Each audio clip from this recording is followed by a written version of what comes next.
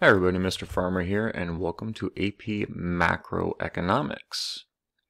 So, macro deals with the big picture stuff. How is the entire economy doing? And there's a big focus on the government, how they uh, can impact everything, um, and just kind of how everything works together. Talk about the aggregate of stuff. So, typically, the focus is uh, there's four areas the GDP and linking to economic growth, unemployment, inflation, international exchange rates, and a big thing that pops up in kind of everything is interest rates for banking. And so these are what we call economic indicators. And you'll see as we go through the semester, we're going to touch on all of these different topics. So here's how it looks. We have a circular flow, a little bit more than we looked at beforehand. So we still have our households and our firms, and we have our factor markets and our uh, uh, product markets, but then we have some other linkages here too. And the reason why I want to show you this is for this reason. If the households decide to do something different, then that can, can impact the product market and the factor market like we talked about. But then we see more things. If they change their minds about something, then there's a flow to this is going to be banks here. And then if there's a change to the banks, that can then somehow impact the firms. The firms can then somehow invest, and that becomes the markets for goods. And then we have government here, and the government will they can do uh, some public savings, put in the financial markets.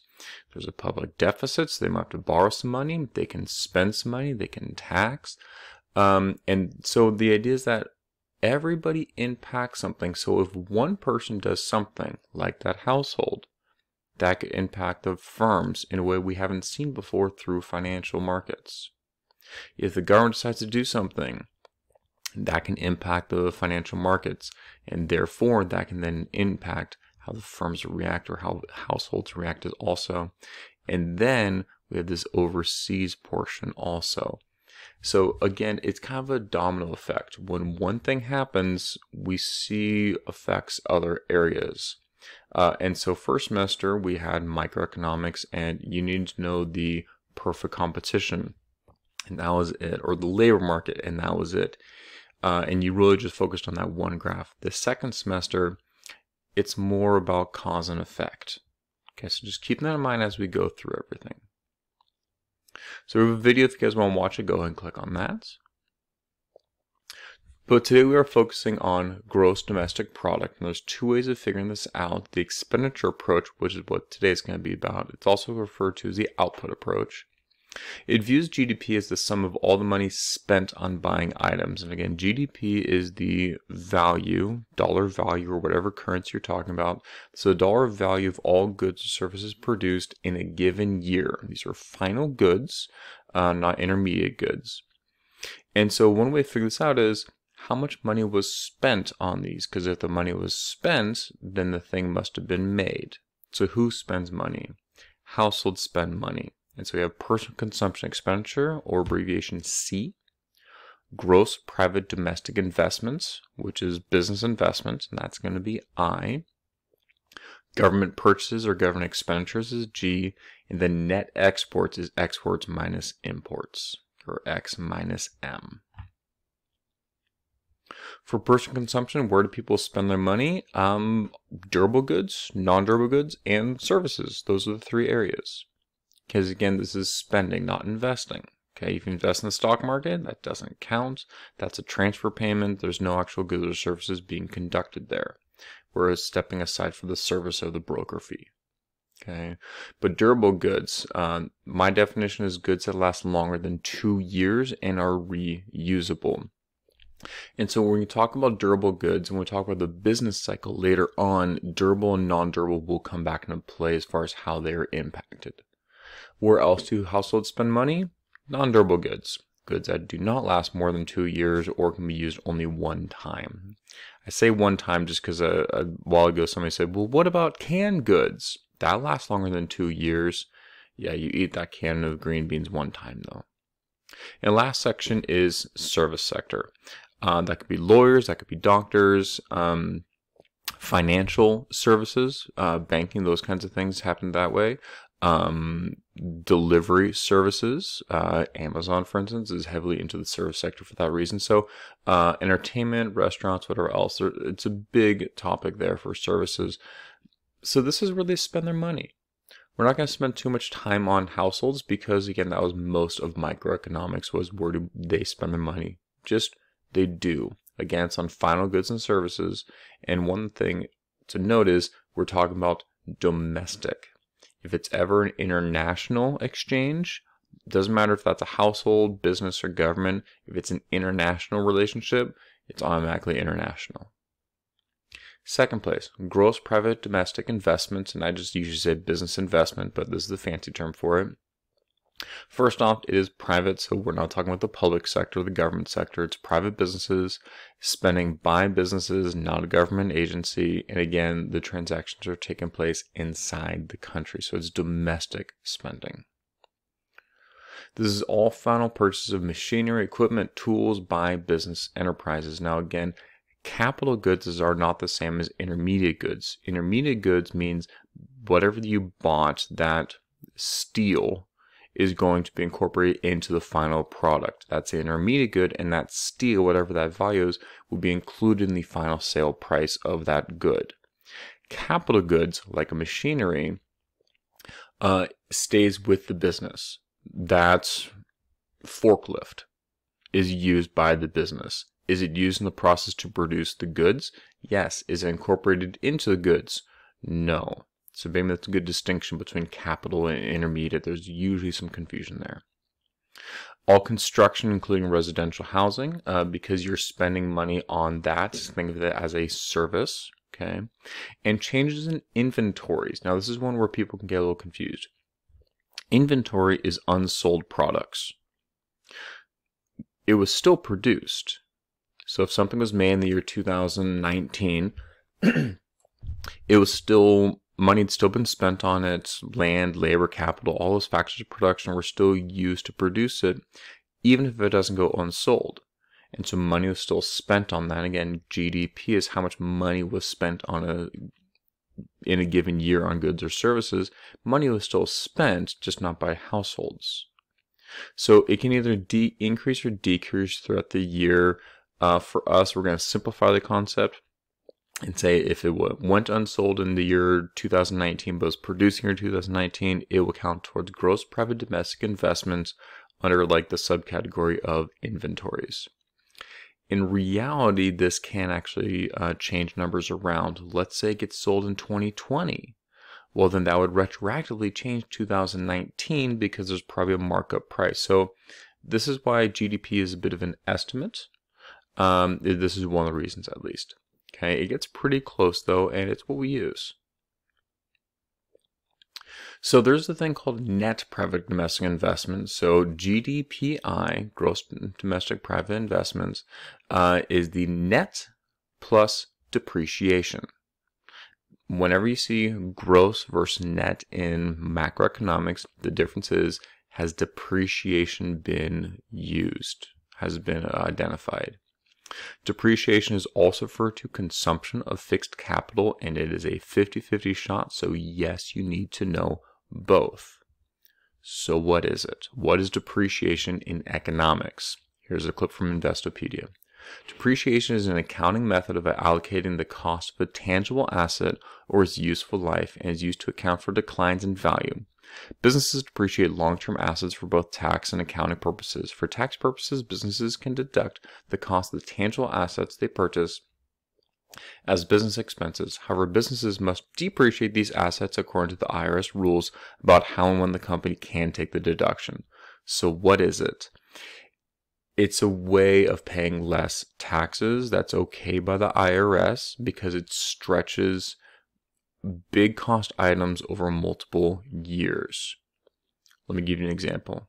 So let's say you have a roof redone and that roof is going to cost you $15,000 to produce, to get refit and whatever else. And that's going to last 15 years. So here's the basic idea. On a standard line, okay, uh, line item depreciation, there are different ways of doing this every year that roof will depreciate by a thousand dollars. So that $1,000 depreciation, meaning reduction of worth, counts as a cost to the business. Even though they didn't pay for it, the idea is that they can save that money and earmark it so after 15 years, they've saved $15,000. And so they don't get just one lump. Hey, that was a crazy cost of a year because we had to rebuild our factory, we had to rebuild whatever else, our roof. No, it's been taken into account for the last 15 years.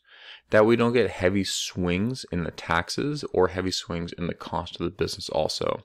So that's the concept behind it. Okay.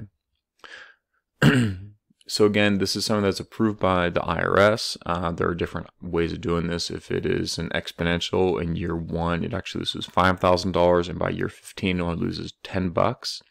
Or is it a lot straight line where it's every year is one thousand dollars? Doesn't matter for us. We'll figure out the context, but that's the idea behind it. if you ever had a reserve study done on your house or if you're uh, for a business, that's the idea. Everything, light bulbs last a certain amount of time. If they're incandescent, two to three years. If they're LED, 22 to 25 years. Uh, and so after, if you save up enough time over the 20 years for the LEDs, for instance, the amount of time you have to re replace them, you've saved the money. Okay, that would be depreciation. So if you're ever to look at a reserve study, or you can look into it now, uh, that's the idea behind it.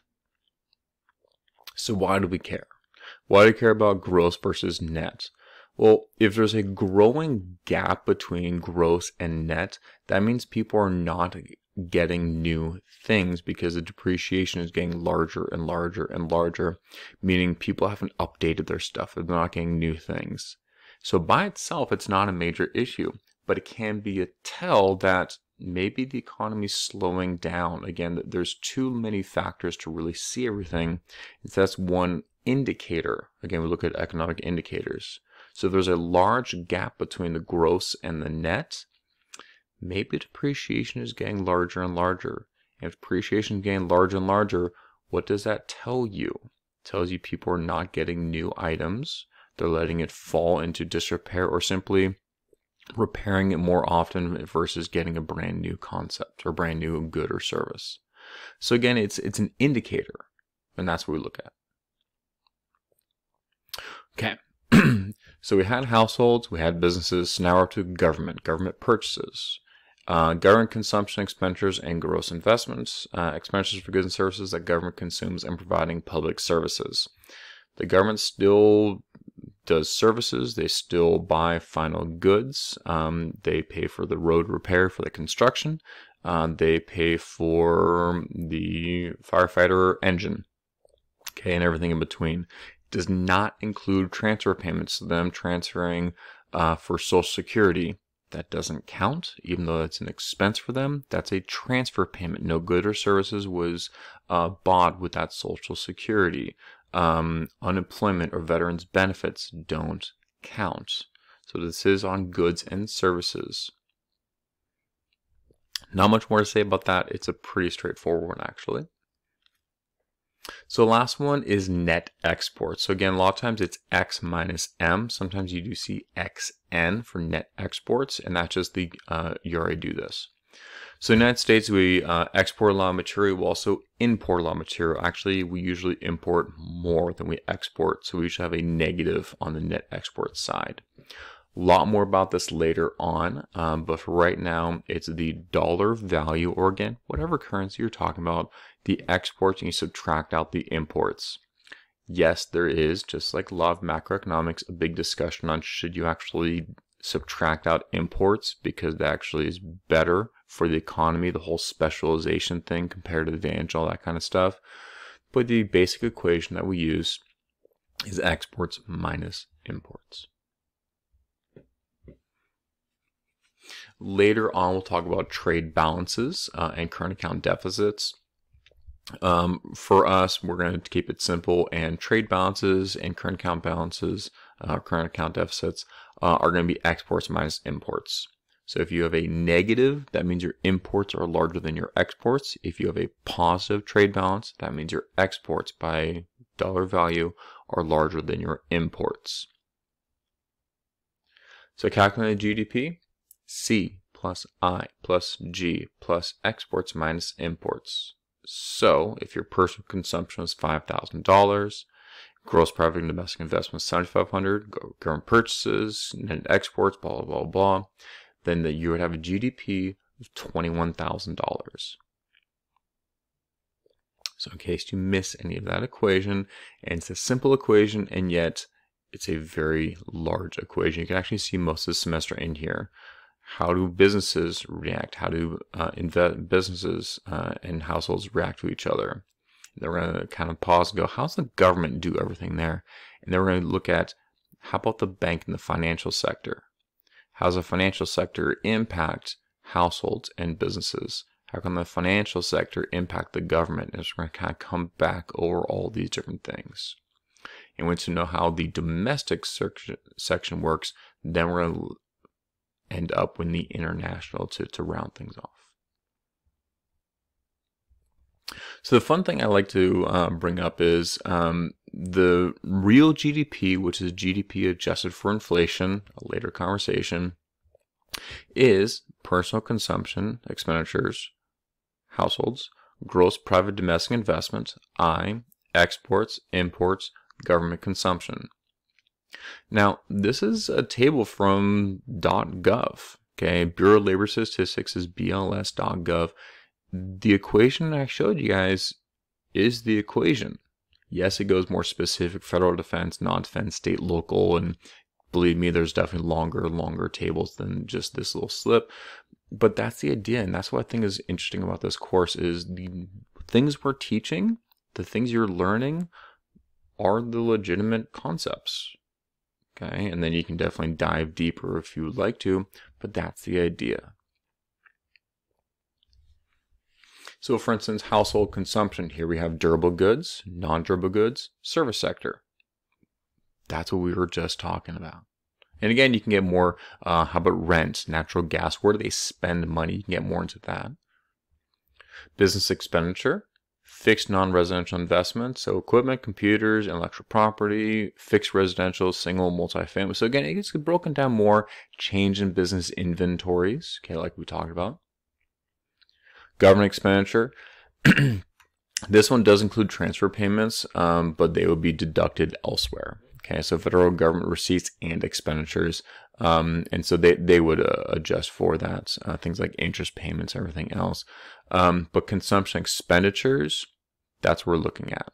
These are the things are just keeping track of where they spend money. So this isn't exclusive to the GDP here. Uh, and then receipts and expenditures continued. Okay, uh, receipts, expenditures, everything else. So that was it. Okay, hopefully that helped clarify some things. So again, what we talked about today is kind of overall what is macroeconomics, the big picture stuff. Okay, what concepts will be focused on, the economic indicators, and we start with what is GDP. Um, and then also we looked at how to calculate GDP with the expenditure or output approach. Later, uh, we're also going to be looking at the income approach, uh, which is just a different way of checking on that GDP. Till next time.